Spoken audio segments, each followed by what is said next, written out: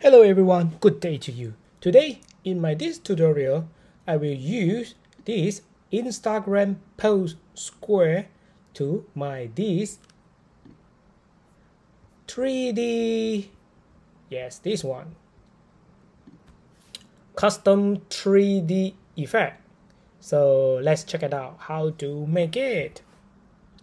So first of all, once you open this, you just this blank page for example blank page. So you need come to elements and then select the logo. So logo you can choose like a Facebook logo. Okay you can choose one of them. You just see in this color they have a white and blue.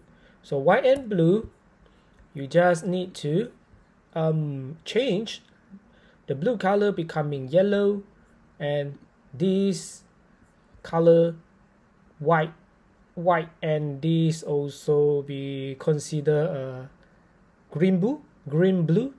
Then all you change becoming yellow as well. Is look like this situation this condition. So once you have this if like me is a canva free version user just coming to the file click download and download this page number two number two then click done. Now we want to remove the yellow color area okay? So if you are the free version uh, if you are the free version user like me just follow my step. It's easy. If are Canva Pro user I think no any issue at all. So I will use Pixlr E and then this one is a free free online editor. You just come in here, open image. Just now your image, just upload over here. Sorry about that. Coming unlock. If you want to know more about this, uh, how to use this all the tooth, tooth uh, item, you can go in to see my tutorial is Pixlr tutorial. Okay, so now I just come in the toolbar here. When select, when select, then I just choose. I select to maybe about 15 then mode I change to add to selection. I just click this one. So now I just click yellow area a yellow area yellow area and this one as well. Once I finish this selection I just press the button delete then he will help me to delete like this. Okay? So now I just click outside. So now coming to file export as png okay? Okay now I'm back to this Canva. So now what I want to do is upload the photo.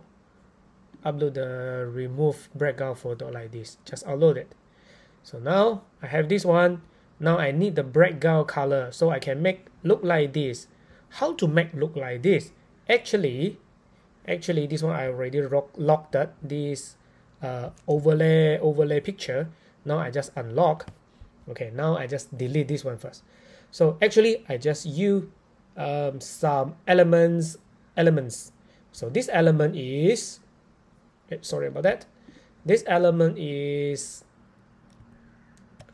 rose goes rectangle. Okay? This one is gradient so you just choose some the background color you want. So for example this one is a pink glitter. So you just choose those picture or the photo you want. Then you just put on the area. After that you just overlay this photo. So this name is called gold circle. Okay. So once you already position those item if you find this color is not your expected, you can come to edit and then you can come to CO to adjust the brightness, contrast, saturation, and if you want to adjust another thin blur or so on. But now I just adjust about brightness, contrast, and saturation as well. So how about this gold circle? Gold circle, I also adjust the brightness, contrast, and saturation as well. This gradient, I also adjust it okay following the color is more um, brightness or more interest interest interested okay so now I just click this one to put overlay the photo just come into the corner scroll up to this position. Everything is look like okay. Just come in here to lock it. After lock it okay so what I want to do is download this page number three and then remove the white color area. So now I'm coming here. File download page number number not number two is page number three. Click click download. So now I zoom out a bit. So once finish okay finish. So now what I want to do is remove the white color area. White color area means I will use same this platform. Uh, this tool is, is called Pixlr and then come to open a new image. New image just click it upload. So now this is look like. So same. When select mode is add to selection shift tolerance is 15 so now I just click white area. So once you see white area that have over then some place will remove that. That means the white color is more similar. So now what I want to do is undo uh, I just click outside here. Adjust the tolerance to becoming um, 10 for example. So I just click one more time.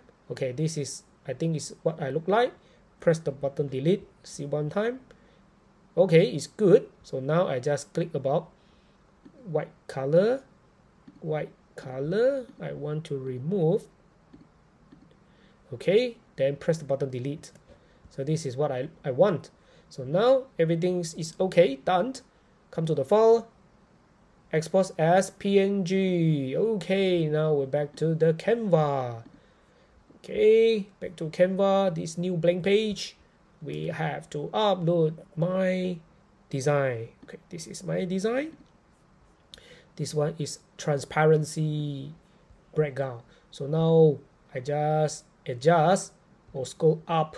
This size don't forget this uh I think this one should be no big issue but I will adjust a little bit. So now have a two-way have a two mental or two-way to make it shadow or 3D um 3D effect. So first you just come to edit, edit with shadow. So you can edit drop shadow as well. Click one more time. You can adjust this transparency becoming 100, blur 5, but this area or this shadows just only allow you to change with different the uh, color was provided okay provided for example I just use this one. Okay it will look like this. Once you're happy okay then I why will be look like this? Okay never mind I will undo first. And then maybe I adjust a little bit more. Uh, not adjust I adjust the size look like this. Then I edit one more time and then we see one more time what we will come out okay now transparency I adjust to 100 everything okay just click apply. Okay it will look like this. But I want to do is different. Is with the same color. So I scroll up. Scroll up. And then I adjust a little bit. Okay now this time I will duplicate. Duplicate with edit and edit the color. Now this time my color will be adjust a little bit more darker. Maybe go to 40 contrast. Okay maybe about 10 saturation. Maybe also about 10 okay. If everything okay I just right click send to the back. Okay. This is look like 3d then if you thinking want to adjust a little bit a little bit just press the button. Maybe like this. You also can press the button or the arrow in your keyboard. After you look the the effect like this just right click. Send this first page picture becoming below okay so now this is look like 3d custom logo effect. So i hope you enjoyed this video. Please give me like and subscribe my channel. See you in the next video soon. Bye bye